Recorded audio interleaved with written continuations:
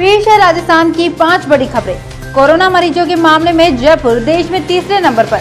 पंजाब के truck driver की बोरुंदा में संदिग्ध मौत। मुख्यमंत्री अशोक गहलोत ने कलेक्टर्स को दिए निर्देश, ज़्यादा से ज़्यादा टीमें तैयार कर करवाए सर्वे।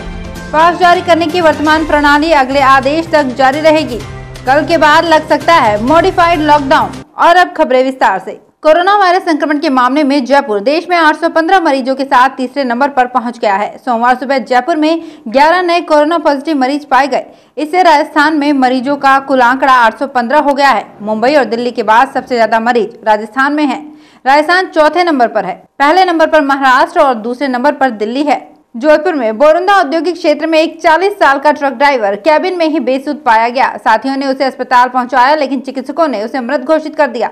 संदिग्ध मौत होने की संभावना पर तीनों लोगों के सैंपल लिए गए हैं। पुलिस के अनुसार पंजाब के मोगा ज़िले के धर्मकोट का चालीस साल का सतनाम सिंह, अन्य दो साथियों के साथ नौ अप्रैल को धर्मकोट मोगा से रवाना होकर 10 अप्रैल को बोरुंदा पहुँचा था। सतनाम सिंह कैबिन में ही बेसुध हो गया, जिसे हरप्रीत सिंह और परसपाल सिंह राजकीय चिकित्सालय लेकर आए। यहाँ चिकित्सकों ने उसे मृत घोषित कर दिया। प्रदेश में कोरोना वायरस की रोकथाम के लिए मुख्यमंत्री अशोक गहलोत ने कलेक्टर्स को साफ़ तौर पर ये निर्देश दिए हैं कि संक्रमण को रोकने के लिए सभी ज़रूरी उपायों के साथ सख्ती से फोकस करते हुए निपटा जाए।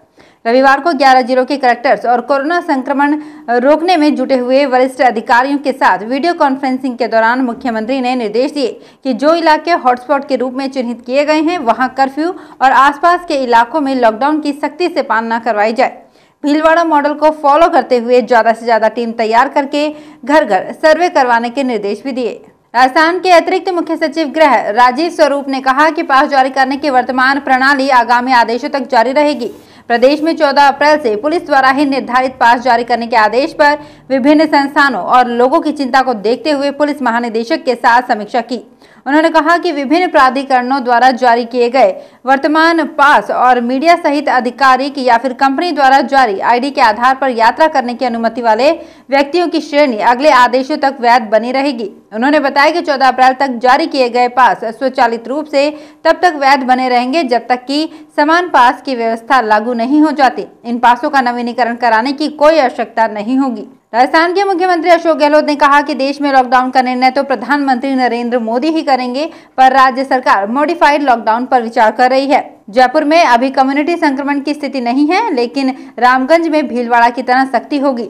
मुख्यमंत्री ने वीडियो कॉन्फ्रेंस के ज़रिए मीडिया कर्मियों से चर्चा में कहा कि लॉकडाउन और वित्तीय सुधार के लिए गृह विभाग के एसीएस राजीव स्वरूप, पूर्व केंद्रीय वित्त सचिव अरविंद मायाराम की अध्यक्षता वाली समितियों ने रिपोर्ट दे दी है, उसे अमल में लाएँगे। मॉडिफाइड लॉकडाउन के तहत अलग अलग व्यवस्था बहाल होगी। इस बुलेटिन की खबरें समाप्त हुई और अब एसपीटी न्यूज़ की अपील। लॉकडाउन में घर पर रहें, सुरक्षित रहें।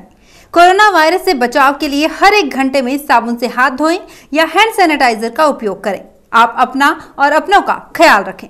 अगर आप भी अपने आसपास की छोटी बड़ी और महत्वपूर्ण खबरों से अपडेट रहना चाहते हैं तो सब्सक्राइब कीजिए हमारे चैनल एसपीटी न्यूज़ को और प्रेस कीजिए बेल आइकन पर।